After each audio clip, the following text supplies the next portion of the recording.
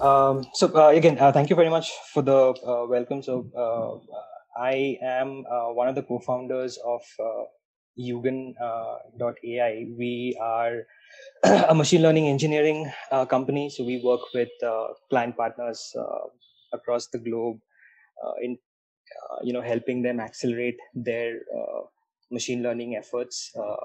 so we we just like more than a year old and throughout the past year, I think we've learned a few crucial lessons in terms of how exactly uh, do we have a framework that helps you know, move from prototype to production. Uh, how do we ensure that you know uh, our, our time to market uh, is within uh, an acceptable limit and uh, you know in in the pursuit of doing that we have a few interesting uh, insights and you know certain learnings that we've had, uh, which I'd like to share with uh, all of you today. I assume uh, you guys are able to see my screen. Yeah, everything's fine. Oh, perfect, thank you. So, uh, so just a quick, um, you know, understanding of what uh, this particular talk is going to concentrate on we are mostly going to understand um, how you know building ML systems from scratch. You know what are the different things that are involved in that process, and while we build out these components and while we iterate, what are certain things uh, that we should have in mind in terms of you know what uh, the north star should be. Uh, as we deep dive into you know these learnings, we'll uh, talk about something that we refer to as uh, the minimum achievable goal uh, and we will also kind of uh, share certain uh, insights with regards to how do we maintain a healthy balance between you know exploration activities or machine learning model developments or pipelines deployments uh, and all of those things. So the idea is that uh, for any machine learning system we you know kind of move from the ideation stage to you know measurement and and successful execution and we kind of repeat this process over and over again um, so uh, we, we, are going to kind of uh, focus more on how best to you know cover the journey from the ideation stage to successful execution and uh, you know certain best practices that can kind of uh, help us achieve that. So we'll take a specific use case uh, that we've kind of worked on for the past year.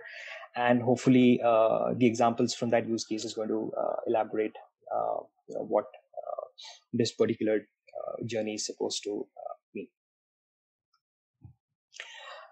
Now, a quick uh, recap about you know putting things in perspective as far as machine learning systems are concerned. So, at the very heart of it, uh, there are multiple uh, um, components that are present in a machine learning system. So, uh, typically starts from identifying what a business goal is, you know what you know your priorities are and how do you define uh, the scope uh, of that particular goal. So from an overarching problem statement how do you kind of uh, break that down into sub problems or or uh, kind of interim checkpoints that you can then uh, uh, fulfill?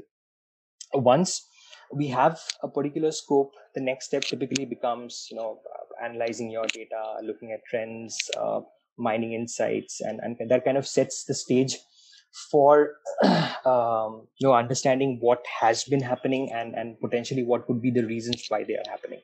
And that kind of you know uh, intuitively flows into uh, the feature creation and feature engineering part of it where you know we prepare the training data sets uh, we look at you know different features we transform them and you know, kind of uh, get uh, the feature engineering uh, done in a certain manner uh, the feature engineering step, of course, leads to the model development step. So this is where you know data scientists would typically uh, try different algorithms, uh, hyperparameter tuning, uh, you know, offline tests, uh, sometimes even real-time tests to kind of see how the model's performing on historical data. Is it you know something that that you know we are confident about and you know whether or not that should move to production and typically this also is a kind of a collaborative step where you know multiple uh, people in the team uh, kind of share inputs as to you know what uh, uh the pros or cons of the model can be and you know is there something else that we can try to improve it uh, but at the end when we have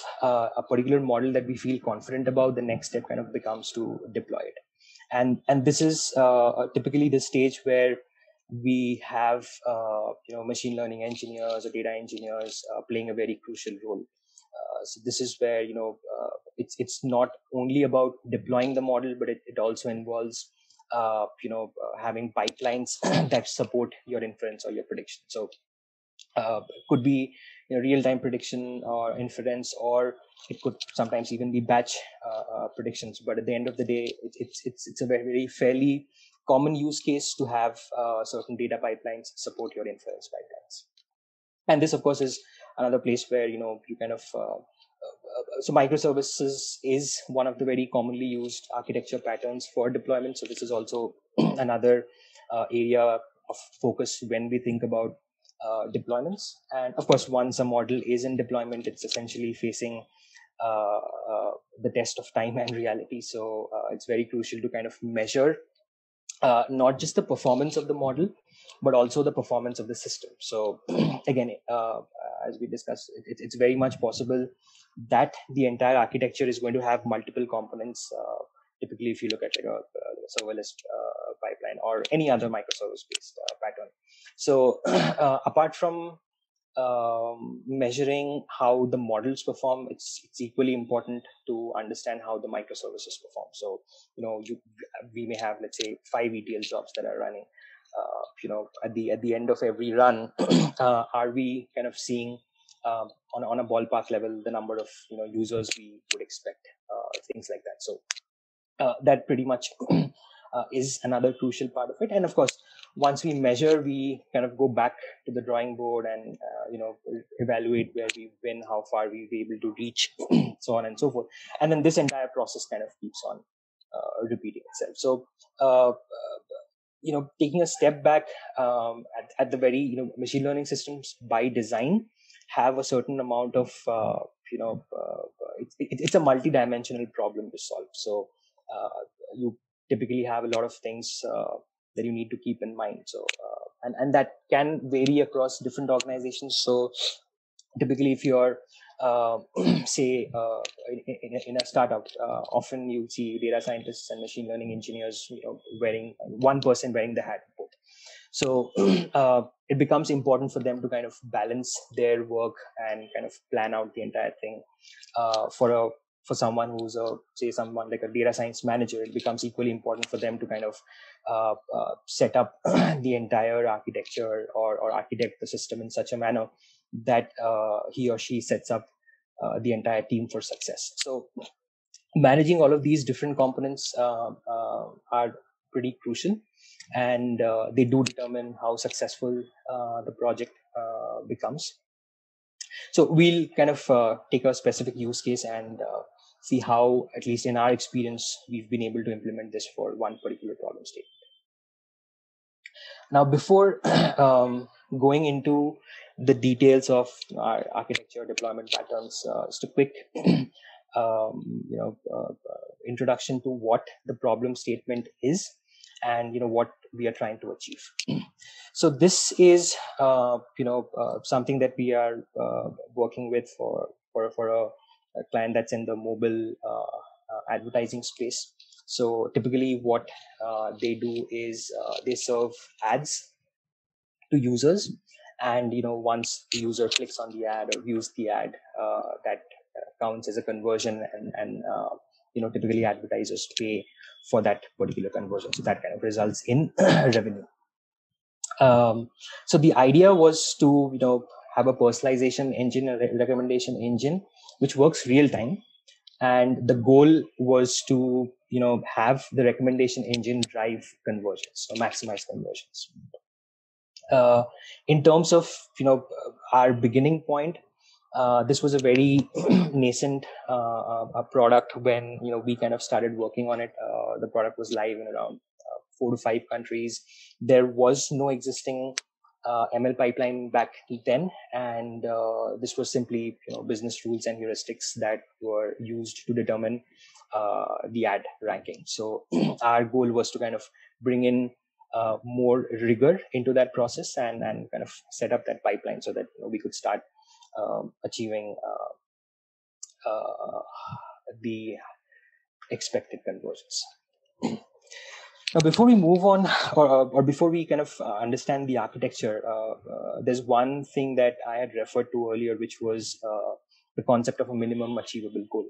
Uh, and in practice, we've seen uh, that you know the the understanding or having a minimum achievable goal, or at least following it as as much as we can, typically results in in in in great execution, and and that's because it kind of sets uh, or freezes the scope and uh, it becomes very easy for each and every person to understand what has to be done what's the goal uh, and kind of makes the entire process something that uh, that's set up for success. So the way we uh, and of course we've gone through multiple iterations uh, over the last year to kind of you know fine tune this concept over time. But the idea is that you know we, we define a minimum achievable goal as as, as a deliverable which, uh, if, if taken to production, achieves uh, an acceptable uh, level of uh, value addition. Uh, sorry, is this?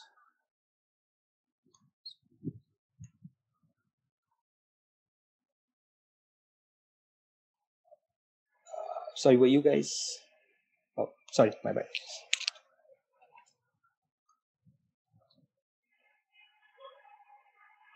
Yep.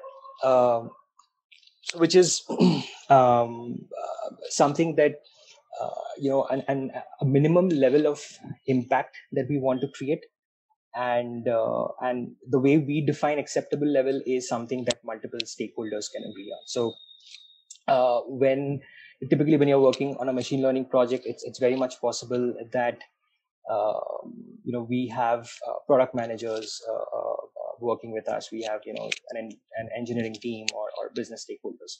So the way we define an acceptable level is something that you know pretty much all stakeholders can agree with and, and therefore uh, that's an agreed impact that uh, everyone needs to take. Um, the other feature of the minimum achievable goal is that it uh, kind of sets future releases or, or sets a process that makes future releases uh, pretty easy. So uh, you could define KPIs such as, you know, I, I want to be able to deploy a new and improved model, uh, say, every four weeks. Or you could say that, you know, you want to roll, roll out small A-B tests uh, or minor experiments uh, every two weeks. Or, you know, you could kind of change certain configurations in your parameters and, and, and that typically deploying that should not exceed, let's say, uh, half a day or a day. So these are certain um, uh, checkpoints or requirements that we kind of include as part of the minimum achievable goal. And uh, you know this kind of helps us stay focused on uh, a certain set of things rather than be distracted uh, uh, uh most of the time. Uh, a, a, few examples. So for example let, us say you're working on a particular machine learning model and and that product is present in say 50 countries for the minimum achievable goal, you you needn't prioritize all 50 countries, or you could just start working on on just one country. Uh, you could prioritize that, or you could prioritize, let's say, a, a particular continent, or, or let's say cities zip code, or you could even look at it from uh, a demography perspective. So you could kind of want to uh, uh identify a particular user segment and then focus on it first, rather than uh, you know focusing on, on all, all user segments. So this kind of helps prove value um, because again there's always a certain amount of uh, unexpected uh, returns uh, in as far as machine learning is concerned. So uh, this approach typically uh, helps solve that problem. So this is um, you know as far as the problem statement that i had mentioned earlier. So this was the first baseline model release that we had done uh, it was uh, pretty much you know a plain vanilla bare bones kind of an architecture. Uh, but at the same time it was pretty foundational and it enabled us to uh, kind of experiment uh, very quickly. So for example we had like a separate uh, model development pipeline and also a model inference pipeline. So looking at the model development we had a data warehouse was typically Google BigQuery, uh, and we used Jupyter notebooks, which would kind of pull the historical data, it would prepare training data, calculate, you know, uh, uh, historical uh, uh, ads, etc., and all of that, and we would then store them as uh, flat files. we had another kind of pipeline where you know we would take the analytical data set, we would kind of create features, perform certain transformations, and for the first release, we did a simple, you know, regression algorithm. We kind of tested it on uh, offline and then uh, on the live set of uh, ads that we had, and we felt it was it was at least uh, uh, something that would show promise. And you know, uh, once we were able to get to that stage, we had the output of this particular Jupyter notebook was kind of a model artifact um, the model artifact um, was then kind of uh, you know uh, uploaded to uh, S3. Uh, this was programmatically, but then of course not via an ETL pipeline, but uh, still via code.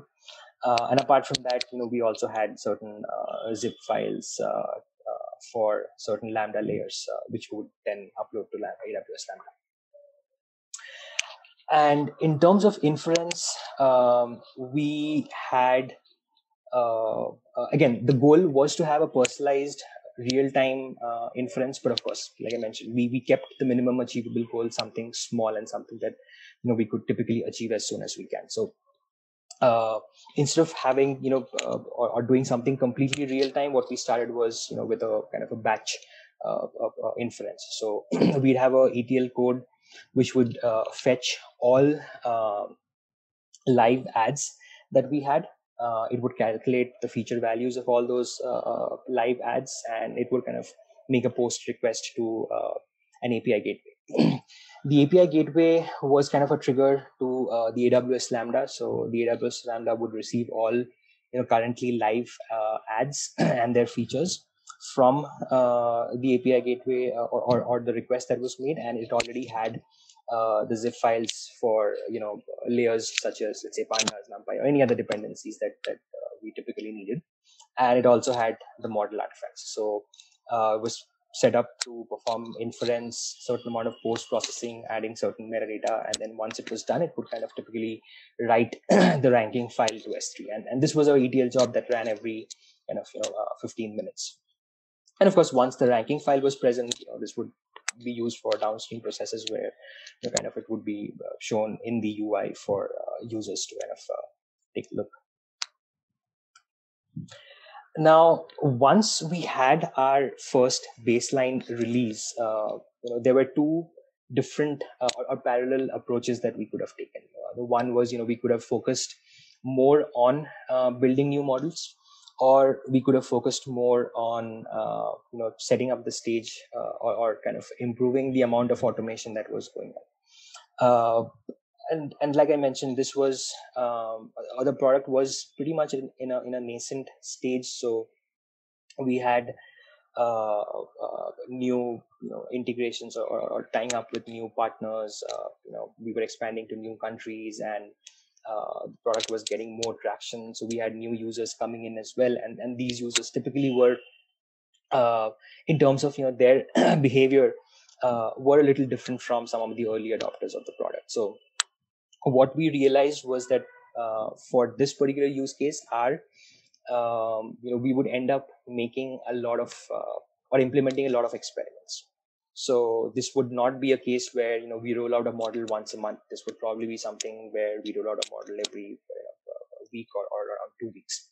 So which is why we decided to kind of prioritize uh, the automation uh, uh or the deployment aspect of uh, the pipeline. So our next release or our next phase was more focused on automation. So uh, wherein you know earlier we just had the model Uh, uh, um, artifacts being um, uploaded to uh, S3 via code, but not via, let's say, a, a particular CI/CD process or via GitHub Actions. What we decided to do was kind of you know build out the automation here. So we focused on uh, having the inference code, uh, the model artifacts, uh, all deployed and and update the Lambda and this was via GitHub Actions and kind of a CI/CD process. at the same point in time we also realized that you know because there's going to be more focus on automation we should kind of set the stage for uh, A/B tests. so, which is why we kind of uh, modified the, the, the the configurations that we had in the ETL code, where you know it would it would make like instead of one request uh, earlier, it would make like two different requests, one for uh, the A test, the other one for the B test, and automatically uh, the Lambda instead of writing one. Uh, you know, ranked list of ads would start writing, you know, two or multiple such ranked files and, and, and that output would then be showed to the users depending upon whichever test bucket uh, they belonged to. But yes, uh, we, we placed our bets on um, uh, automation because you know that kind of seemed the right thing to do because you know we, we imagined that uh, you know there would be a greater ROI in automation at that point in time rather than uh, focusing more on on, on model uh, developments. And and this foundational choice kind of helped us in the future immensely um, which is because once we had this entire pipeline set up what we could then do was uh, expand uh, pretty quickly. So at the very beginning when we had a baseline release we had focused on just one country uh, and now you know we could focus on you know multiple countries at a time. So we started building out one model personalized to each and every country. It was still for users it was still uh, user agnostic but at least you know, we could kind of uh, uh, make different models for every country uh, you know from from a very uh, elementary or rudimentary linear regression we could then move on to generalized linear models and random forest regressors essentially tree based algos and, and that kind of helped us get um, uh, better ROIs as well. Um, and and in in addition uh, to kind of expanding to multiple geographies and kind of you know doing a horizontal expansion, the other thing that we understood was that because we had set the stage for uh, A/B tests in the previous release, this would also be an optimal time uh, or an opportune time to kind of uh, set up the stage for measurements. So our data warehouse, uh, which was in BigQuery, we kind of connected that to uh, Google Data Studio, and uh, you know we had kind of automated queries which ran, uh, which looked at the different historical data. It would measure uh, the performance of different algos and you know how they perform uh, against one another. So you know which out of let's say if you're running an A/B test. and it's across three countries, so you could always, always see which algorithm is performing better, and certain deep dives that help us understand why it's performing so we had uh, kind of decided to uh, have the measurement aspect built in uh, as, as well. And the inference pipeline of course remained the same uh, um, DETL to API gateway lambda and S3 um, and uh, again a 15 minute batch process rather than something that was real time once we expanded to multiple countries um, we kind of uh, you know were in a better place because there was a certain amount of personalization that was going on by country. But of course our eventual goal was to get to you know user level personalization. So one uh, uh, you know again uh, uh going back to the concept of uh, uh, the minimum achievable goals so instead of taking the, the one leap from user agnostic to two directly um, uh, user personalized models, we decided to kind of uh, go to an intermediate stage. Uh, and so here we kind of uh, started building out uh, personalized models for user segments. Uh, the, the, another reason why we kind of made this design choice was because we also understood that our current inference pipeline had its shortcomings. So if we wanted to try multiple algorithms uh, and even some of the more sophisticated ones, especially let's say learning to rank algorithms and all of that, uh, the lambda uh, approach would not uh, typically help because of the 250 MB uh, zipped uh, limit that we have. Of course, this is before, much before this year's reInvent when Lambda launched container support. so at that point in time, we of course did not have that option but of course we did want to get to a stage where uh, you know uh, we are able to re-architect that system. And you know this was kind of uh, a midway between what we currently had and where we wanted to uh, reach. Um, and while we were building out you know models for user different user segments we could also uh, kind of uh, uh, focus on you know incoming new users separately. We could focus on you know users who've been in the system or been using the product for a while versus you know whales who've who use the product who are uh, extremely loyal to the product and, and they've pretty much frequent the product, let's say uh, every day or, or uh, every alternate day. so that helped us um, achieve a certain uh, added level of personalization on top of the uh, uh, the user the, the country personalization that we had um, and you know uh, we also uh, apart from random forest regressors you know we could also move on to you know uh, XGBoost, gradient boosted trees etc for each of those uh, uh, models that we built. And of course uh, one helpful thing was that you know we already had the CI/CD process built out. So you know moving from model development to production was not something that you know we really had to worry about multiple times. And, and that was a process that was already in place and therefore uh, it really helped us. So the design choice where we made uh, that, that we made after our first baseline release is you know so these are certain uh, advantages or ROIs that we you know later on started realizing because of that choice that we had made. And of course uh, the measurement pipeline was also pretty much uh, built uh, now while we kept you know focusing on certain countries or certain user segments uh, and and before we were about to make the final jump to a you know fully user personalized uh, pipeline and user personalized model uh, we noticed one thing that you know uh, over time uh, like i mentioned you know we we kind of uh, source our ads from different partners. So you know sometimes the characteristics of those ads would change as we launch in different countries the users who come uh, uh, and, and and use the app their characteristics are different uh, and and you know as we kind of acquire more customers the new customers or new users they do not necessarily share the same traits that existing uh, users do. So of course we we did notice that you know some of our models uh, their performance uh, was being impacted by concept drift. And and that's something that we could easily identify over let's say a few weeks of time is because you know we already had the measurement pipeline built out. So uh, at least we could look at different customer cohorts and see uh, you know the number of uh, visits that, that, that, they were making or the number of ads that they were clicking on uh, what their you know return rates were and you know was that going reducing over time for a specific segment or was it increasing because uh, for a for a different segment so on and so forth. So th- that was another uh, you know at least a helpful directional trigger for us to realize that uh, we do have concept drift uh, that's impacting us. So before we took the final plunge towards user personalization, we decided to at least take a step back and, and dedicate some time to kind of uh, uh retrain most of our models for you know different user segments and countries, and then make that jump. So which is why we kind of uh, uh, plugged in this particular um, effort at that point in time.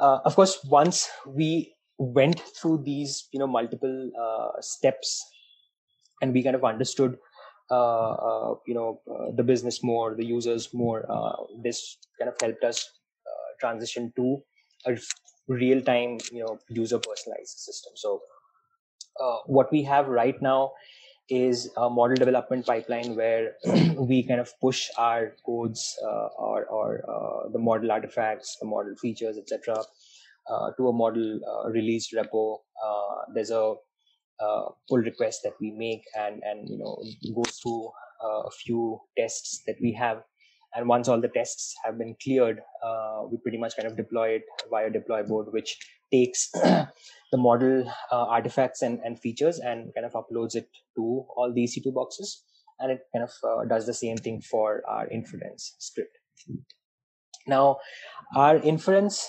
uh, at least from a user uh, personalization standpoint, uh, you know, we need two different things. One is what are the different uh, ads uh, that are live in our system, and um, uh, you know what are the different features that we have for different users.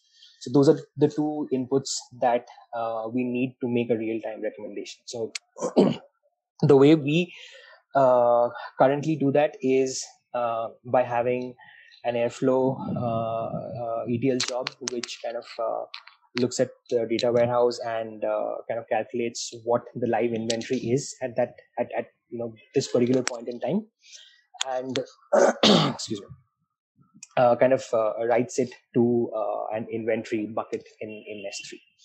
Um, of course, you know inventories don't necessarily change every minute. Uh, can change like every five minutes or so. So you know, we have our ETL jobs configured that way. So you know we kind of run this every uh, five to ten minutes. Uh, and once the uh, the ETL job is kind of uh, uh, uh, calculates the live ads and their features, what we do is in in each of these EC2 boxes that we have, we have a Python scheduler, so which kind of pulls in all the inventory and their feature files from S3 we have a similar design uh, in, in, terms of having another ETL job for users. Uh, although from a design standpoint there is uh, kind of a slight difference between uh, you know uh, user features versus uh, ads and their features. So in real time we essentially need uh, the entire ad inventory uh, at, at one go whereas for users we don't need the same thing. For users we need the features for one specific user for every api call. So which is why the ad inventories are you know pretty much in in in, in uh, flat files or binary uh, pickle files in s3 whereas for users uh, the the airflow job that we have kind of writes all users and their features to a redis uh, cluster uh, of course we've kind of experimented with dynamodb uh, and, and, and redis both as well and, and you know this was we, we didn't see a huge performance uh, uh, difference, but uh, it was easier for us to move to Redis because of you know certain existing knowledge base that we had. So which is why we kind of chose Redis. Uh, which stores all our uh, user features. so in, in real time, the way inference happens is that you know there's an API request which is made by uh, the client, you know, which is when a user comes in to use the product in the UI, and that kind of uh, uh, makes an API uh, call, and you know we kind of have a lambda which triggers um, um, the inference script here. So of course the entire application is kind of uh, deployed as a Flask application on uh, EC2 boxes, and and there's the load balancer which kind of scales um, as and when needed. Uh, in, in terms of you know the traffic that we receive, but the idea is that you know the lambda helps kind of uh, do the the inference part of it. Uh, another use case why we need the lambda is because, of course, this is a high level abstraction, but uh, we we often have uh, uh, you know the inference done in in multiple ways. So, uh, of course, recommendation engines do face the cold start problem. So, let's say there's a new ad that come that came in like 10 minutes back or 20 minutes back. So we essentially cannot score them the same way we would score ads that have been in the system say the last week or, or, or two weeks. So we do have like multiple uh, such uh, uh, inference pipelines built out uh, rather than just you know one inference uh, uh, happening at that particular point in time. So you know the lambda helps you know, parallelize those particular calls and, and and once it gets the the the ranked ads for that particular user it helps combine and, and reconcile those uh, inferences that have happened uh, in parallel. So once, of course, uh, the Lambda has that particular input, kind of sends out that response, which again, based on which the user gets to see a particular set of ranked ads that they can, you know, click on and kind of experience. Uh, the other thing is, and, and this kind of ties back to uh, the the measurement part uh, that I was talking about uh, the very beginning, and and uh, of course measurement is uh, typically of uh, uh, two different, or we break it down into two different categories. One, of course, is things like you know how is one particular model performing. you know, you all users who are being served a particular model. you know what is the return rate of those users how many you know clicks are they making and and how many times do they come um, and, and, and click an ad and, and how much are they scrolling uh, uh, in the app, uh, things like that. Uh, the other thing is uh, checking the health of different microservices. So, you know, as you would notice from like a bare bones uh, ETL, Lambda API Gateway S3, and, and CI/CD, we've kind of had a significant revamp in terms of the number of microservices that we have. Um, so what we do is uh, we kind of um, uh, use New Relic to monitor uh, uh, the entire you know web application that we have. So it kind of tells us that you know per minute, uh, you know this is the throughput. These are the number of errors that happened in uh, you know for for this particular microservice in the last you know 30 minutes, 60 minutes, etc. All of that. Uh, the other thing, um, which of course New Relic isn't able to cater to, you know, uh, from the basic design that we have is so this entire application uh, the inference actually application is something that you know we track via New Relic, but of course you know, we have our ETL jobs uh, that operate on Airflow. So uh, that of course falls outside the scope of New Relic uh, uh, as of now. So the way uh, right now we of course do not have an automated system in terms of monitoring those logs, but what we do is we do write those logs to S3, and you know we are able to kind of uh, check that you know this was one uh, particular time where uh, the job failed and, and helps us uh, visualize that from uh, the airflow dashboard and then also from uh, the logs that we write onto s3 and, and, that's applicable both for the the user feature or the user data store as well as for the ad inventory store the other key aspect, and I'll kind of uh, uh, uh, go back to the model development uh, pipeline, is essentially the model release uh, part of it. So right now, of course, we have you know as we've grown as a team, we've understood the importance of or, or the idea of you know, how why collaboration is important. So of course, this is one such aspect where we are kind of uh, experimenting more and and you know exploring multiple tools as to how multiple data scientists can work together and and how do we optimize uh, the release or, or, the model building pipeline how do we automate that? So that's again another uh, chunk of the pipeline which isn't mentioned here but but it, it's uh, another interesting uh, body of work that uh, we plan to embark on.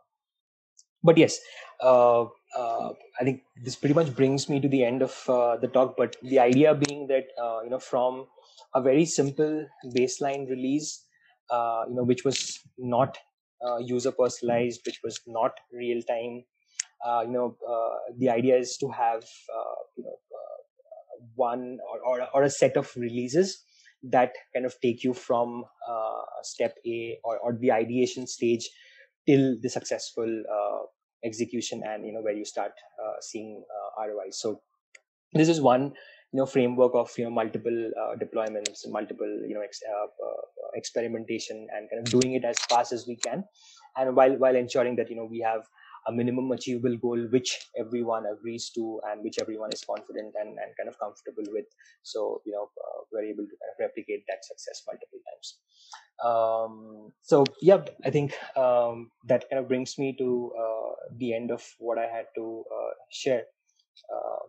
I think if there are um, any questions, uh, I think we can go ahead with that.